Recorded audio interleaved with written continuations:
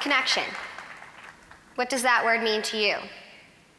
What does it make you think about? Do you think about your spouse? Your cell phone?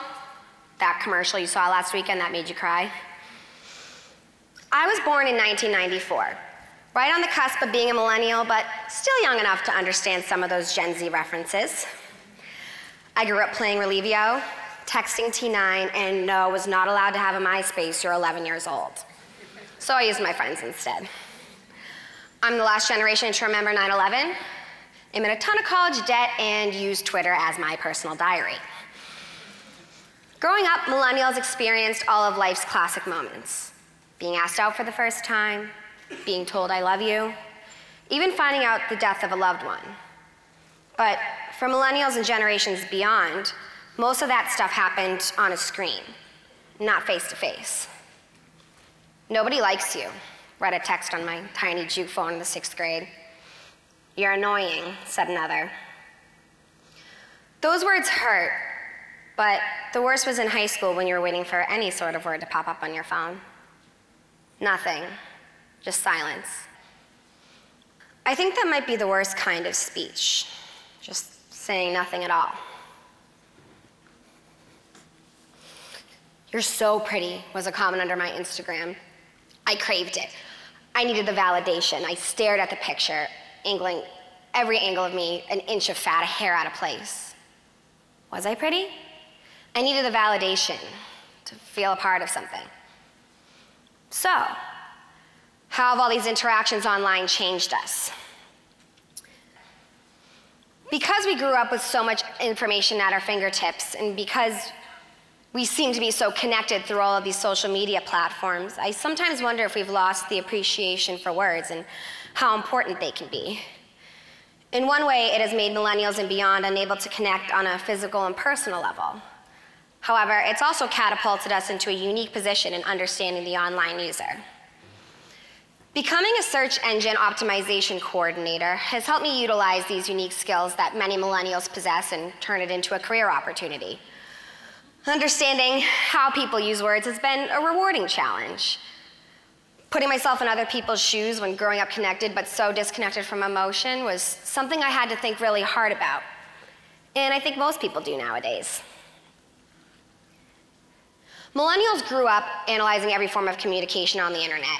And because of this, they're in a unique position to help businesses learn, grow, and attract new customers. We analyze every single word that comes our way. If you go on a date and he texts you hey with one Y, there will not be a second date. If he texts you hey with three Ys, you should start planning nuptials. but seriously, I started to realize this when my dad started texting. He would text me and he would ask where I was, and I would let him know, and he would say, Kay. Kay. I'd call him and I would say, Hi, is everything all right? And he would say, Yeah, why? Well, because you said Kay. he now knows to send me okay unless he wants me calling him in a panic. I think understanding millennials in the workplace is the same thing. People think we want instant promotions, but I don't think that's exactly it. In a world where we are seeking constant validation, we'll post a good picture to Facebook or Instagram, or, you know, if we learn a song on guitar, make Dean's List and we watch as the likes roll in. A millennial puts a lot of work in on a project, hands it in, and hears nothing. Just silence. Like I said earlier, we don't do silence. A lot of people talk about the trophy theory. Growing up, we were all given trophies, and now we constantly want to be praised. But I don't think we want to be praised. We want a response.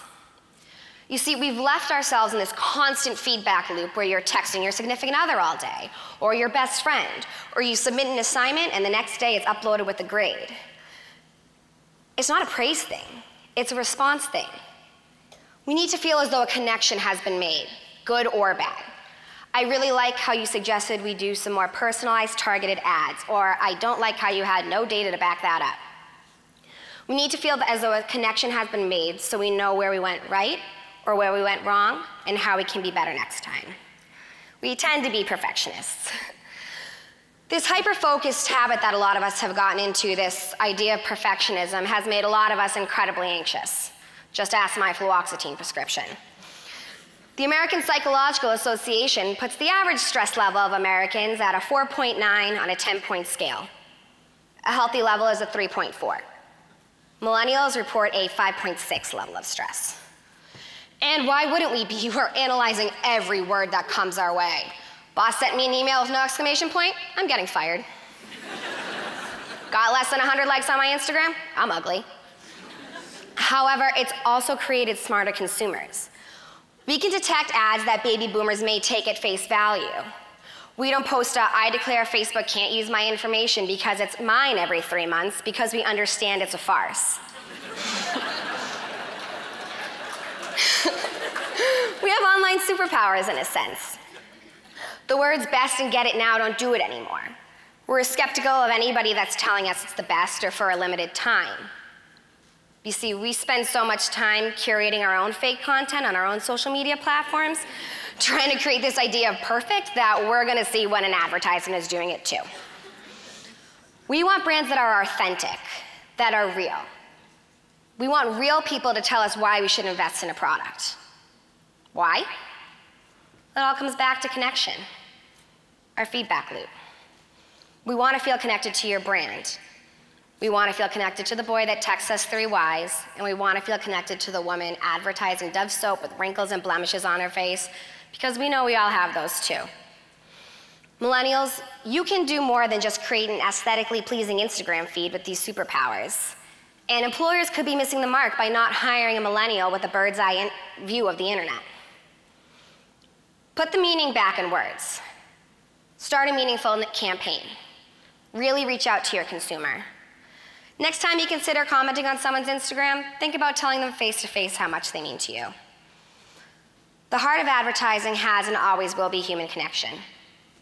That's all anybody really wants, anyways to feel something, to be connected. Thank you.